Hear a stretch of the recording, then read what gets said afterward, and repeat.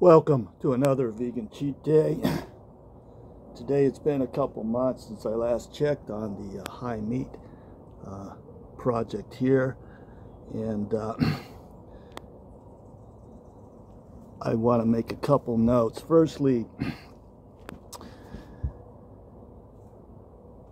I think it's a good practice to record how often you actually open and aerate your high meat and that's what we're going to do today. So you see I opened it, started this on December 11th, I opened it on the 15th of December, just a few days later. And I've intentionally let it sit for another couple months rather than check on it every week or so like I had intended to do.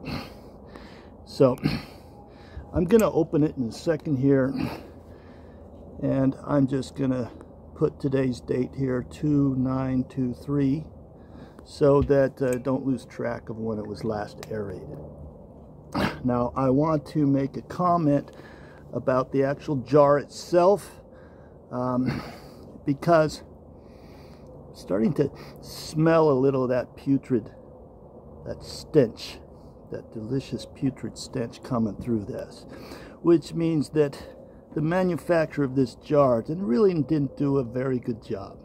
Okay, and we'll just let you see where it comes from. I don't know if you can see that.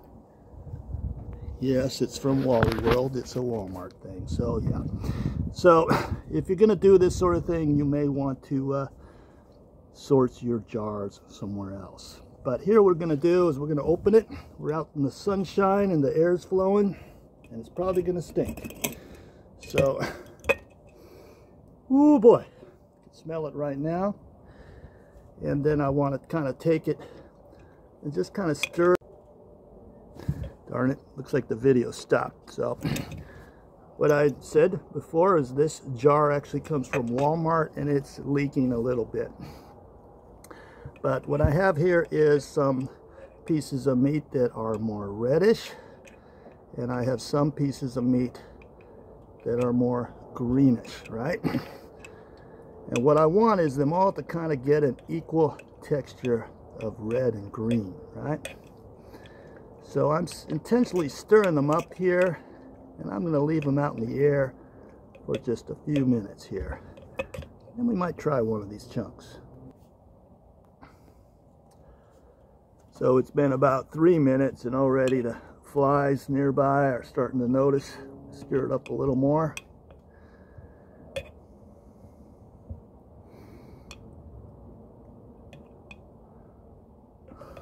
Try a piece here. Try a piece of this putrid meat.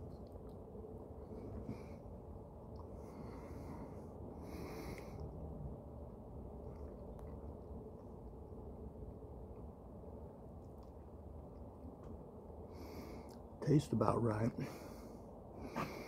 It's got kind of that creamy texture now, which high meat should have. A little sour, a little sweet, kind of sweet and sour, rotten meat here. So anyway, we've let it air out. We have uh, kind of aerated it, stirred it up a little bit.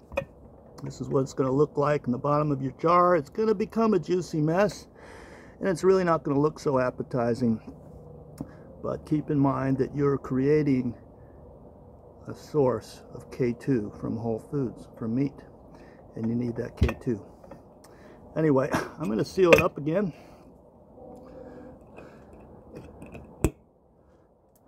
Put it back in the cabinet. And we'll call it another vegan cheat day. Have a happy one, guys.